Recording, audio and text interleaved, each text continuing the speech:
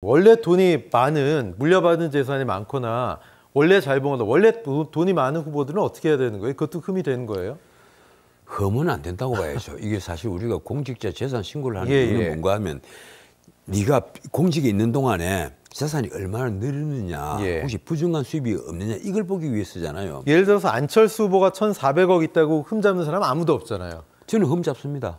정말요? 예, 외국 가면 안철수 후보 들으면 섭섭하겠지만 네네. 대부분이 그게 본인이 만든 안철수 연구소 안내부의 주가란 말이에요. 그렇죠. 주식 팔아서 그렇잖아요. 네네. 근데 주식이 그 주식을 이제 측정한 가격이죠. 예, 아니죠. 주식을 팔아서 그 돈을 만들어서 네, 네. 이 동그라미 재단을 만들었죠.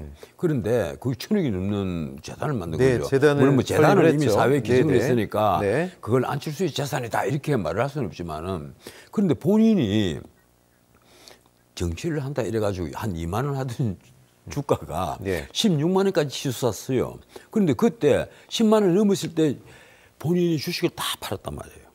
팔아서 그 천억이 넘는 돈을 마련했거든요. 그리고 지금 주가는 다시 쭉 내려와 있잖아요. 그러면 그 천억이 넘는 돈 누구 돈입니까? 바로 개미들이 돈입니다. 그렇지 않습니까?